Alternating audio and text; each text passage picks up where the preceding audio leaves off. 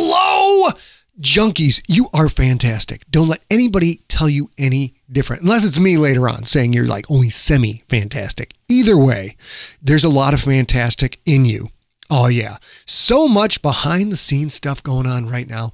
I am in the process of finishing up the Stone Wolves. That is the GFL novella. And when I say words like novella like that, that means I'm saying them in air quotes. Why in air quotes, you ask? Because right now, the uh, Stone Wolves, a GFL uh, novella, is 125,000 words on what was supposed to be a 40,000 word story. It is an entirely new, full GFL novel, y'all. Which means your long, long, long, long, long, oh yeah, long wait will be rewarded. Why? Because you get not only one, but two GFL novels, maybe out by the end of the year in 2020, or at the very least, early, out early in 2021. You get The Stone Wolves, which I can't tell you anything about yet. And of course, you're going to get GFL Book Six, The Gangster. Together, these twins clocking at somewhere around 300,000 total words. That would be around 35 hours of audiobook fun. That would be around 1,000 pages in paperback form, even longer than that, and all for you.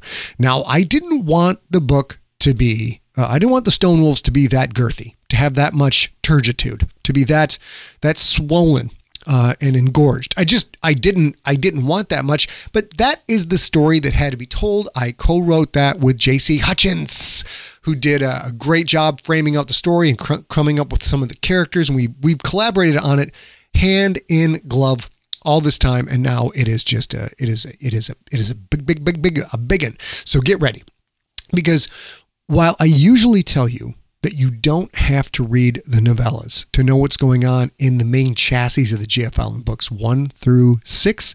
This time, this time, I strongly recommend that you plan on reading both the Stone Wolves and GFL Book Six, The Gangster. You've waited a long time. Why not get two novels, two novels, and uh, and and take them all in? Because there's stuff that happens in the Stone Wolves you're going to need to know for GFL Six, and there's stuff that happens in GFL Six you're going to need to know for the Stone the Stone Wolves. They go hand in hand. We will have publication date and other information as to when and where you can get it in the future. I don't have that for you right now. What we're going to do now is hop into the Wayback Machine and travel to the year 2008. Uh, we are in the middle of the Nocturnal Throwback podcast. Now, a quick note, you guys. I've received some lovely supporting emails and delightful comments from people giving me, uh, you know, giving me positive thoughts based on stuff that happened that they heard about in the last couple of episodes of Nocturnal Throwback. But that is stuff that happened back in 2008. Uh, remember, we are re-podcasting this story. This originally came out in 2007, 2008. So after you hear the opening talkie talk of an episode, which you're listening to right now, the opening talkie talk, then we switch over to the talkie talk I said back in 2007 and 2008 to give you a little bit of a time capsule on how much things have changed in my career and in my life. So everything you hear after the initial opening talkie talk, that's from the long ago time but still thank you nonetheless uh, your your kindness and support of the stuff that i do and in my personal life goes a long way. I appreciate it very much and i think you are no you know what? I changed my mind. You're fully fantastic. You're not half fantastic. You're splendid wonderful and you smell an awful lot like flowers. Now after the upcoming sounder we then switch to me talking to you from back in 2008 when i was writing a chapter of nocturnal and recording it each week and releasing it to you. So now we're going to go ahead and do that. Ladies and gentlemen, junkies of all ages, enjoy.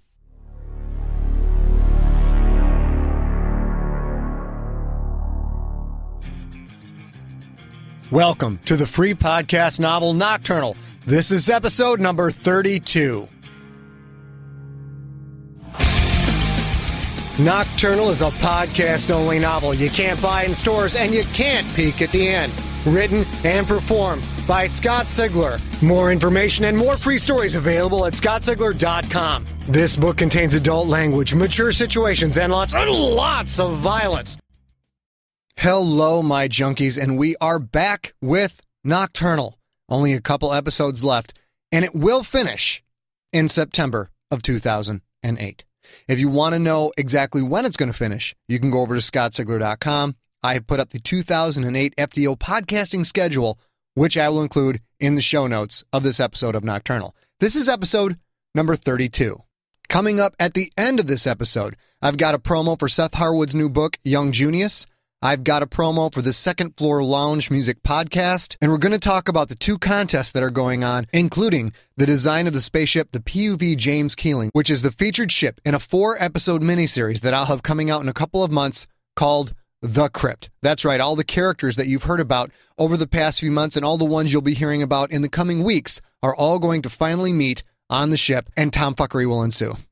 The other contest is to design a unit insignia for a military unit that actually is in the book Contagious, which is now finished. So, all you artsy fartsy types, make sure you tune in and listen up at the end of the show. Now, we're going to roll into the story so far with an old school friend of the show and the author of Young Junius, as well as the Jack Wakes Up books, Seth Harwood.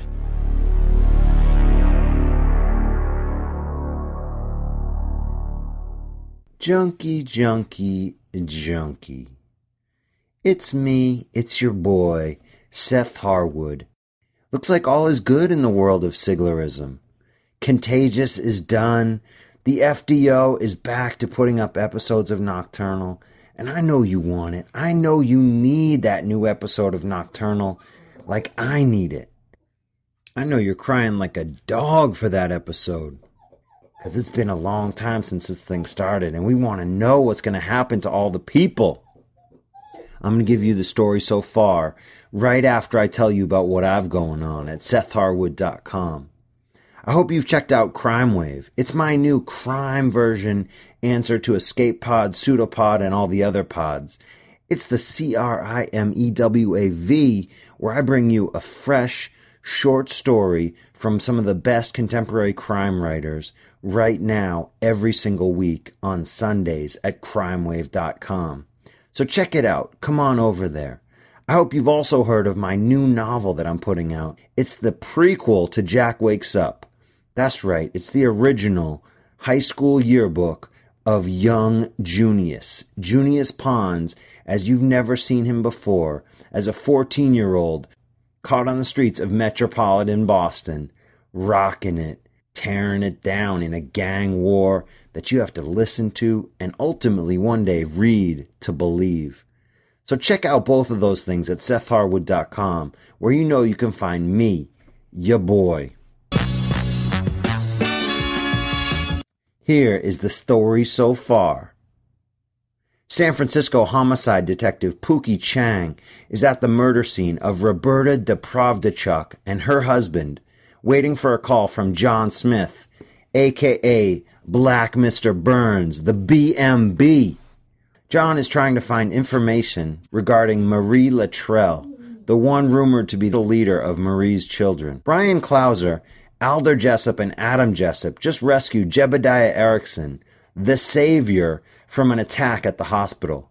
Bryan and company survived a run in with Pierre, Sly, and King Rex Deprovdechuk, and are now fleeing the scene in the Jessup's armed station wagon with Erickson and badly wounded SFPD officer Brian Green in the back.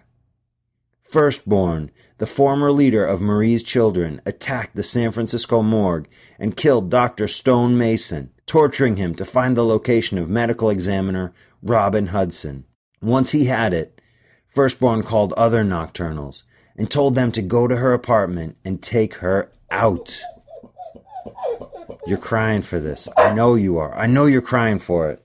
Robin arrived at her apartment, picked up her beloved dog Emma from her neighbor, Big Gay Max, then started for her place just one door down. But at the base of that door, she saw shadows. Someone was in her apartment. Who is it and what's going to happen? We find out now.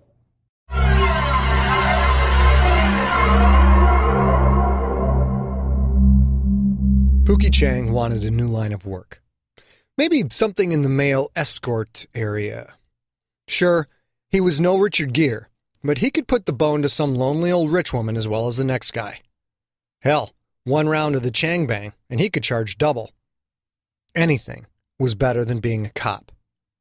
Too much blood. Too much death. Roberta Deprovdechuk and her husband. This was just some fucked up shit. A chainsaw? Seriously? A Colombian necktie? Come on. Rex Deprovdechuk had watched way too many movies. Pookie could only hope he hadn't squirreled away copies of The Godfather, or he'd eventually have to partner up with the animal cops. The professionals were on the job now. Blood splatter guys, evidence techs. There wasn't much for Pookie to do but hang out and look important. He'd had enough of this beat. Honestly. How much of this twisted shit did one man need to see? Wasn't his punch card full by now? Could he turn it in for 10% off the next gig?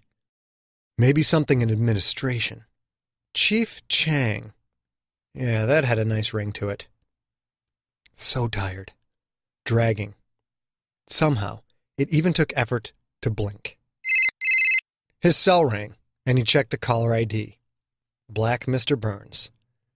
What's up, BMB? You do that research on Marie Luttrell for me yet? Papa needs him some info. I'll get to that in a second. Burns said. But holy shit, Pooks! You hear about the morgue? No. Blood all over the front desk. God is missing. They know somebody died in the morgue proper on account of some more blood there, but no bodies. Pookie's chest spiked with a cold rush of fear. The morgue. Robin Robin Bobobbin. Who was the on-duty medical examiner? No one was scheduled to be there. BMB said. Frank McCourt was on call, but he came in after the fact, after the news came across. He's fine. The guard's logbook said Stone Mason was there. He's been working with Robin, but Robin had left for the day. How long ago? Fifteen minutes before the bodies were found, so about 20 minutes ago. And here's the fucked up thing, Pooks. Marco Gastineau's corpse is gone. And get this, there's an APB out for the ninja. What the fuck for? For the murder of Francis Parkmeyer. Ninja's gun was found at the scene. Robertson called it in. Bryan's gun found at a murder scene. Bryan's gun, which Sub Chief Robertson had taken. This was about as friendly as evicting a double sized turd peppered with broken glass. Marco's body gone. Morgue murders. Parkmeyer dead. Chief Zoe trying to cover up the case. Robertson planting Bryan's gun and framing the ninja for the murder. Zoe and Robertson had finally crossed all the way over. No hurdle was too big. They were going to cover it up, cover it all up, no matter what they had to do. Robin, Bryan, and Pookie would be next on the hit list. Pooks, you there? Pookie kept the phone pressed to his ear, but started turning, looking at all the cops on the scene. Which one of them was in Robertson's pocket? What had Zoe promised? Which one was waiting to put a bullet in Pookie's ear? Pooks, man, you there? John, listen to me. Find Tonda Murphy. Tell her to get the Robins right now. You know Mr. Business? Yeah, that uh fortune teller dude with Tourette's. That's him. Go get him and take him to Robin's. And don't take no for an answer. Arrest him if you have to. Hell, rough him up if you must, whatever it takes. But get his ass out of there. And don't talk to anyone. Don't be alone with any cop. Don't answer calls from anyone but me or the ninja. You got it? Pooks, what the fuck is going on, man? Robertson and Zoe are making their move. Anyone who knows about the Savior and the symbols could be a target, and that includes you. Man, I am so glad I hang out with you guys. You know how I crave excitement and mental stimulation. Tell me about it. Watch your ass, BMB. Pookie hung up. He slid into his car, eyes still scanning, looking for the cop that would try and punch his ticket. He didn't tell anyone he was leaving the scene. He just started the brown Buick, put it in gear, and took off.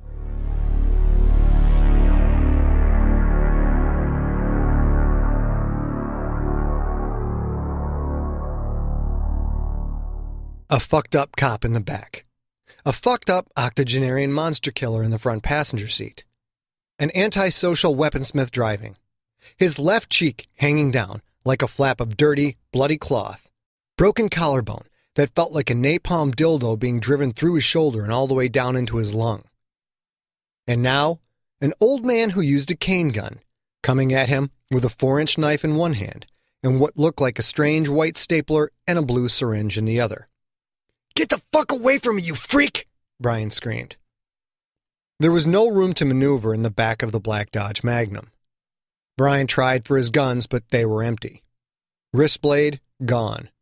Forearm knives, gone. He pushed his back against the door and raised a foot to kick.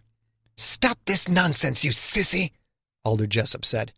You kick me and I'll give you a silver dust enema that will have you defecating blood for the duration of your short and agonizing demise. And put that fucking thing away! My God, Jessup said. This is the future of the Saviors. This, you like a little girl. A little girl? You want to cut into my shoulder for fuck's Your sake! Your collarbone is broken. I can see it from here. If we don't get in there and set it now, it's just going to heal wrong. And then we'll just need to re-break it and go in anyway. You ain't a doctor and this ain't no hospital. That bone will refuse in the next 15 minutes, Alder said. I need to cut in, set it, and use this bone glue. There may well be more action tonight. You need proper use of your arms. Fuck that, Bryan said. Get me to a motherfucking hospital right now. No one can heal that fast. You can. Erickson can. And I need to staple your cheek back in place. You're bleeding all over my car. Why don't you crawl into the front and fix Erickson, Florence fucking Nightingale? He needs a transfusion. We've got plenty of blood back at the house. We'll fix him when we get there. Now, for God's sakes, man, could you stop being such a pussy? Bryan felt his phone buzz in his right pants pocket. He kept his foot cocked back, ready to smash Alder's head, and reached in to check the caller ID. It was a text from Pookie. It read, Robin in trouble. Get to her apartment. Now, now, now. The surreal battle against the dog faced monster. Jumping out of a third story window. A John Woo shootout in the middle of a hospital. All terrifying. And all of those things faded away to nothing, paled in comparison, the second he read that Robin might be in danger. Alder was right. There might very well be more action that night. Adam, Bryan said, get me to church and 24th right now. Run people over if you have to. I don't care. Just get us there. The tone of his voice left no room for debate. For once, Adam didn't even give a smart-ass comment.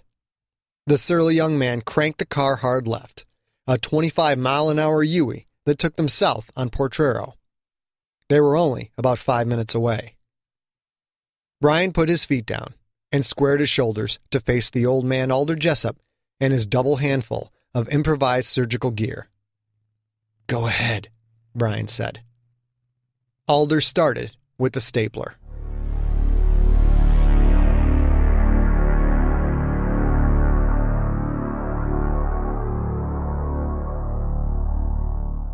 Max, no! Robin whispered, an urgent hiss of dissuasion. Let's get out of here.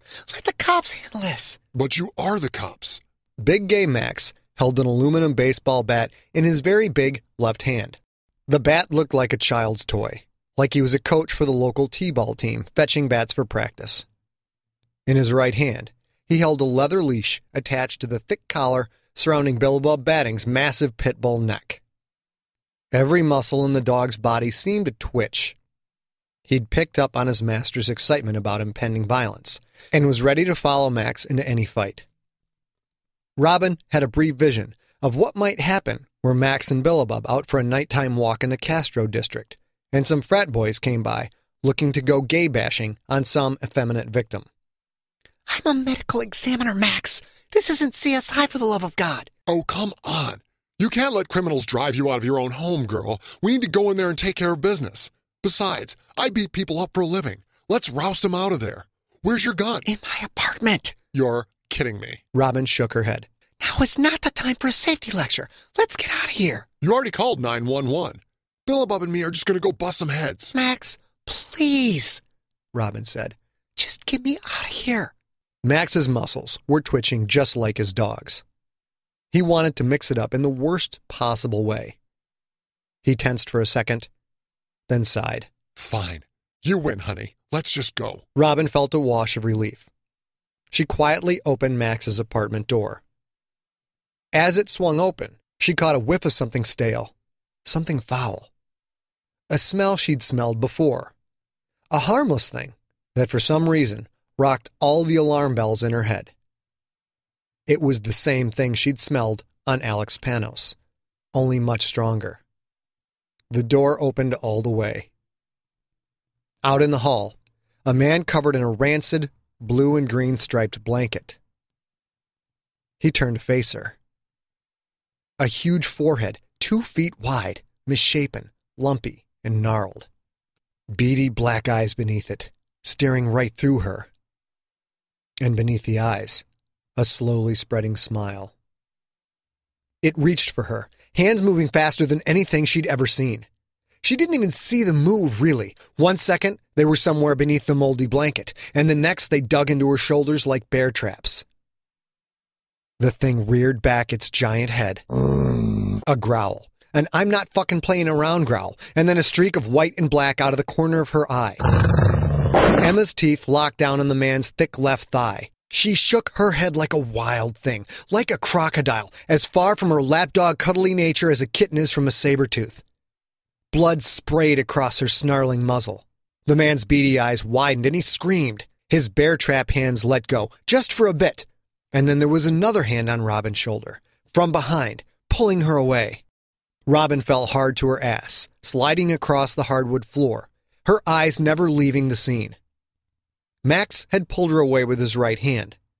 His left hand held the bat. He brought the bat back, grabbed it with both hands, and started to twist his big hips. The misshapen bum's hands locked on Emma's big, thick Labrador head. Fingers pointed and dug in. Robin's heart shredded instantly. This thing was going to kill Emma, just like that. Emma let go of the leg and tried to snap at his hands, but they were too big, too strong. The dog managed a half second yelp, a high pitched, pitiful thing that tore Robin's soul to shreds. And then Big Gay Max finished his swing. The aluminum bat hit the strange man right in his giant forehead, a metallic tonk that snapped his head back like a bobblehead doll. He fell back, laid out flat in a comic book drawbridge drop. A shotgun blast, a roar of death that filled Max's apartment, tearing the air to painful shreds. Max fell away from the door.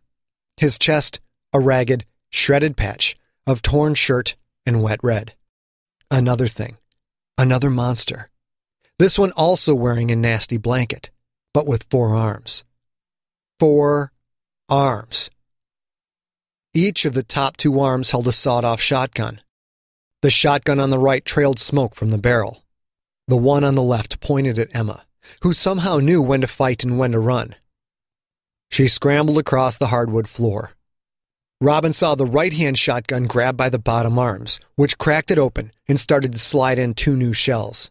The left hand shotgun again filled the apartment with the sound of death. Emma turned sharply to the right, yelping, screaming, blood covering her white and black fur. It hadn't been as loud as the first blast, and Robin's hyperspeeded mind knew why. The forearm thing had only fired one barrel at Emma. It strode into the room and pointed the left hand shotgun at Robin. She heard the sound of death again and felt something smash into her chest and knock her back. Her eyes never left the man. She'd been shot, but she didn't feel any pain. The monster's top right arm grabbed the freshly loaded shotgun from the bottom arms, which then started reloading the left hand gun. He kept walking forward, only five feet away now, it pointed the shotgun right at her face. This was it. Another growl and a blur of furred muscle, leatherleash trailing behind like Batman's cape. Billabub Battings the pit bull locked his massive jaws on the forearm man's top right arm. The shotgun went off again, both barrels this time. Robin felt something hit her right shoulder. She felt pain this time. Oh, fuck yes, she did, as her own blood splattered against her right cheek and shot into her right eye. She fell to her side. she heard a scream, a high pitched thing that belonged to a woman or child, not a man. A shaking growl, and then a snap so pronounced it could have been fresh carrots. The scream got louder. So did the shaking growls. Her right arm wouldn't move. She reached over with her left hand and wiped the blood out of her eye. The forearm man's top right arm flopped sickly broken in the middle of the forearm, sheeted in blood. Billabub had given up on the arm and gone for the throat. Three hands desperately grabbed at the dog's face skin, trying to stop the flashing white teeth from closing in on the jugular. Billabub Battings was one pissed off pit bull. Emma was somewhere in the apartment, yelping, crying for her mas. The shotgun sat on the hardwood floor. Robin started to crawl towards it.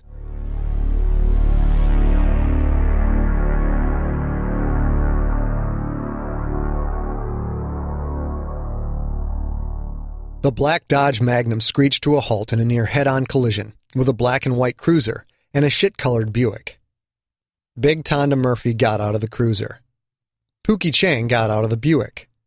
Sirens were approaching. Bryan ignored his pain and got out of the Charger. Alder had used a rifle strap to fashion a sling for his left arm.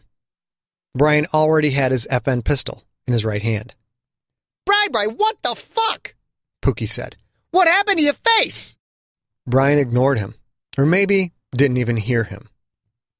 Bryan walked to the apartment building's front door, a classic San Francisco style door of glass and wood, covered with a black wrought iron grate. Bryan kicked out with the flat of his right foot. The door shattered, bent, and flew off hinges that tore free from the old wood. The ruined door sailed into the wide entryway and skidded across the Spanish tile floor glass pieces skittering in all directions. He sprinted for the stairs and started taking them three at a time, heading for the fourth floor. Pookie watched Bryan run up the stairs. In the filthy, bloody, jet black pea coat and skull cap, he looked like a different person. Now, it wasn't the coat, it was his face. An inverted V of metal staples holding his bloody cheek together and an expression in his eyes that promised very bad things to anyone who got in his way. Pookie suddenly recognized that expression. He'd seen it only once before. On the face of Jebediah Erickson, the Savior. Bryan was going to kill anyone that threatened Robin. Pookie sprinted up the stairs, following his friend. He heard heavy footsteps behind him as Big Tonda Murphy followed suit. Blood flew across the apartment. Big Gay Max wasn't moving.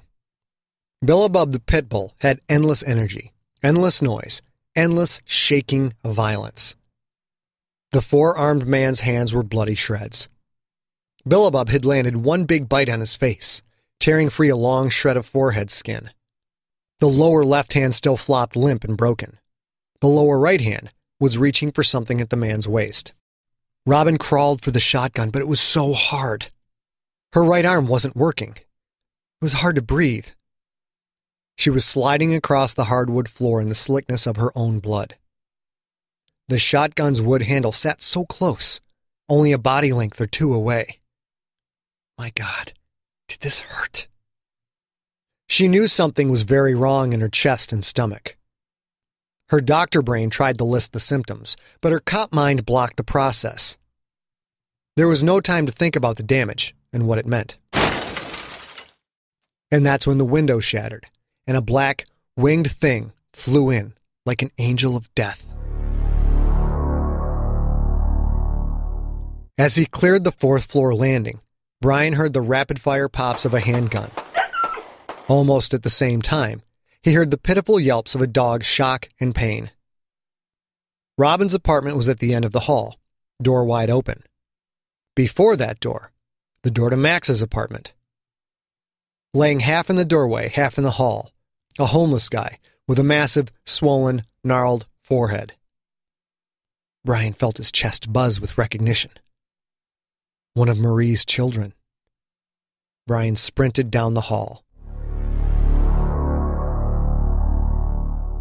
Robin hadn't reached the shotgun in time. Chest down on the floor, she looked up at the thing that had just emptied a 35 millimeter magazine into Billabub Battings, splattering the dog's brains all over the four armed man and the apartment floor. Tall, jet black skin that under any other circumstance she would have found beautiful. Shirtless, muscles taut and free of body fat. Cool, dark eyes, a flawless complexion, an absolute Michelangelo esque vision of male beauty, if not for the sagging flaps of skin that ran from the inside of the man's arms down to his waist. The man ejected his spent magazine from his handgun, reached into his jeans pocket, and drew another. As he clicked the magazine home, Robin had only one thought who was going to take care of Emma? Bryan turned left and ran through Max's open door, hopping right over the big head's body. His eyes caught many things all at once. Max, prone on the ground, his chest a hamburger mess. A pit bull, still twitching, half its head gone. A four armed man struggling to rise. An NBA center tall black man dressed in jeans and no shirt, pointing a 35 millimeter pistol down at Robin. And Robin, chest down, face covered in blood, a five foot trail of blood stretching out behind her. He took all of this in in a tenth of a second. In the next tenth, the tall man turned and fired. Bryan dove to the left, part of his brain knowing that was a mistake even as he did it, even as he pointed his right arm and returned fire, flicking the trigger as fast as he could. He instinctively tried to reach out and break his fall, but the improvised rifle strap sling held his left arm fast. All his weight landed on his left shoulder, and the collarbone broke again. Some of his bullets might have hit. He wasn't sure. The room blurred before him as he landed on the ruined shoulder, ate the pain like candy, and rolled to his knees. The black man moved like the shadow of a speeding car playing against a warehouse wall. A hand flashed out, grabbed the four armed bloody mess. Then Shadow and Bloody Mess Man flew out the fourth floor window with a whoosh of passing air and a tinkle of broken glass. Holy shit, Bryan! Pookie's voice from the doorway. Look at the melon on this mutant! Cuff him, Bryan said. Call an ambulance! He scrambled to Robin's side. She rolled to her back just as he reached her. He slid his right arm under her neck, lifting her gently. Her right shoulder was a ragged lump of flesh, bone exposed in some places, blood sporadically pulsing out from multiple spots. But that wasn't the worst of it. Her chest. She'd taken a shotgun blast to the chest, a softball sized pattern, starting at the top of her sternum and ending halfway to her waist. Blood soaked her shirt. He'd been a cop too long to be in denial, even for a second. The shotgun pellets had ripped into her heart, which probably had at least a dozen holes, filling her chest cavity with blood pumped by a shredded muscle that struggled to function, to find a rhythm, to move ever decreasing amounts of blood through her body. She didn't have long. Bryan, she said, her voice quiet, resigned. She knew. They both knew. I'm sorry, Robin. I'm so sorry. She shook her head slowly, once to the left, once to the right. Not your fault. Where's my girl? Pooks, get Emma and bring her in here. He stared down at Robin. This just sucks, he said. She nodded. Indeed it does. At least, I got to tell you that I love you. I love you too, Bryan said. I do. I have. I always will. She smiled, and somehow that made it even worse. It opened the floodgates of emotion that had been blocked by the adrenaline. Tears poured from his eyes, blurring her image a little, blurring her smile. He couldn't wipe the tears away. His right hand held her, and his left arm couldn't move. She reached up and wiped them away for him. Nice timing, champ, she said. You got that one just under the wire. Pookie stood over them, cradling a whimpering Emma. The dog's left hip was a sheet of blood. Only now did Robin look scared. Oh, God, is she? She'll be fine, Pookie said quietly. He knelt down and set the big wounded dog in her lap. She needs some shot taken out of her butt cheek, but, but that's it. She'll be fine, Bo Bobbin. Now Robin smiled at Pookie. She reached up and touched his cheek, her fingers tracing a line of her own blood on his skin. Pooks, stop fucking married women, she said, then turned her attention to Emma. The dog stopped whining, her still oozing wound darkening Robin's already blood-stained pants. Robin held the dog with both arms, pulling her tight, human blood further staining the dog's black and white coat. Emma whimpered and kissed Robin's face. It's okay, baby. It's okay. But it wasn't okay. Robin looked at Bryan, Emma's tongue still dancing on her face. Bryan, she's all I have. You take her. You love her. Bryan nodded. He wanted to talk, but he couldn't. His throat locked up tight like a clenched fist. Do you, do you promise? Bryan nodded again. Robin sagged in his arms. Her eyes didn't close, not like in the movies. They just stared out, dead and lifeless. Robin was gone.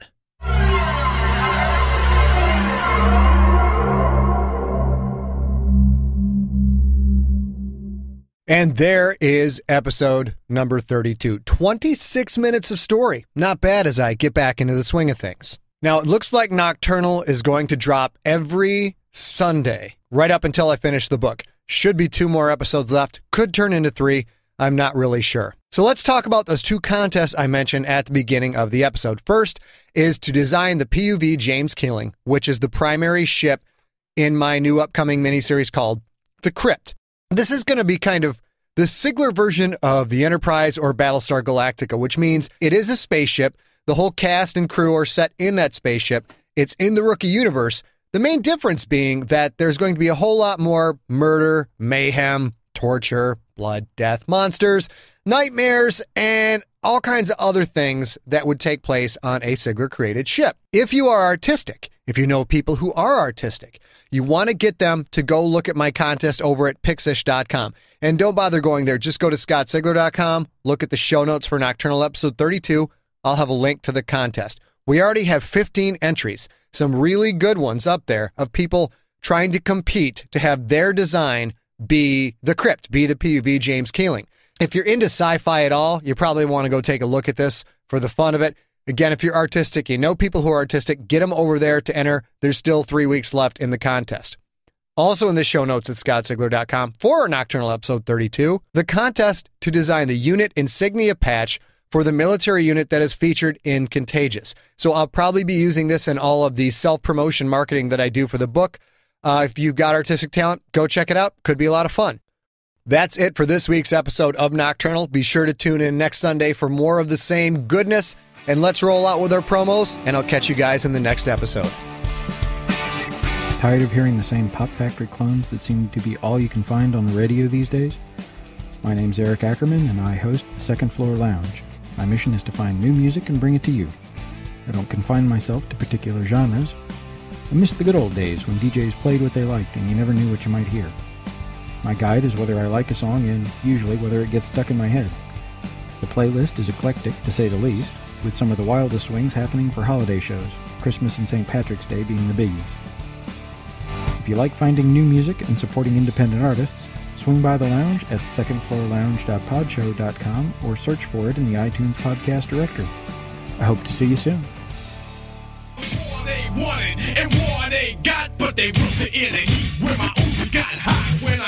This fall, are you ready for crime? Young Junius the podcast novel, serialized every week at SethHarwood.com, brings you the story of Junius Ponds. As a teenager growing up in a Boston that crack cocaine is just starting to take hold of, he's running to escape the consequences of a murder he had to commit and fighting to avenge the death of his brother. But first, he has to find out who did it. So let Seth Harwood the author of Jack Wakes Up, take you on a trip through crime, action, and violence this fall as he brings young Junius to SethHarwood.com, your home for serialized crime.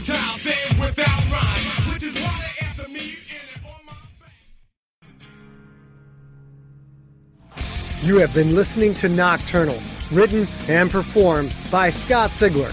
For more information, go to scottsigler.com. All music in this podcast provided by Uncrowned off their album Devils and Angels, available now at the iTunes Music Store.